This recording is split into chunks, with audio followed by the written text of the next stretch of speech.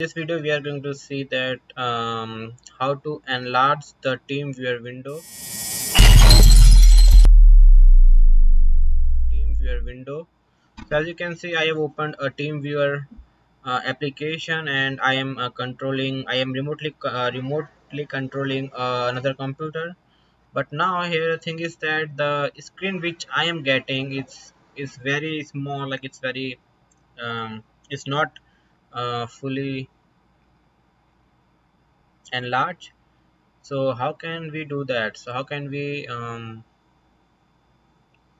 enlarge this screen? So you can see that um, over here on the top of this if you if you can't see you just click on this uh, maximize toolbar arrow and you will get all these options. So now over over here go to view and on this you can see these scaling options. So if you see best fit is chosen for your um, computer.